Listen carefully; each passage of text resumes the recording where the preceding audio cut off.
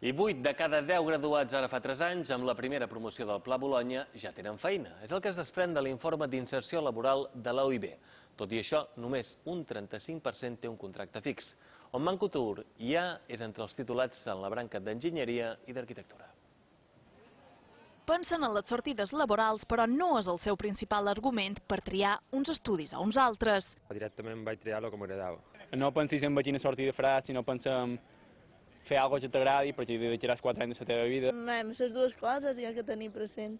Però a l'hora de pensar en el futur, una vegada finalitzada la formació acadèmica, el desig de tots sols el mateix. Espero terminar la carrera y encontrar trabajo.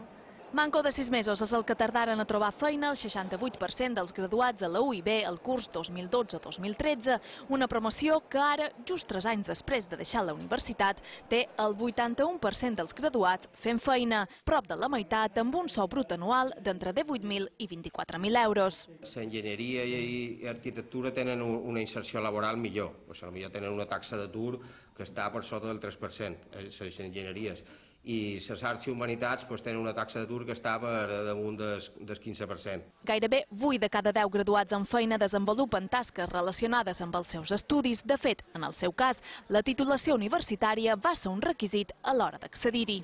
Aquí l'estudi universitaris i les Balears estan en una economia de serveis, sí que acaba sent una clau d'accés al món laboral qualificat important, perquè surt un 78%. Per tant, és una, és una crida de dir estudiar és una inversió de futur. Tres anys després d'haver acabat la carrera, només el 35% té un contracte fix. La temporalitat la pateixen 5 de cada 10 i un 13% la majoria graduats en enginyeries són autònoms.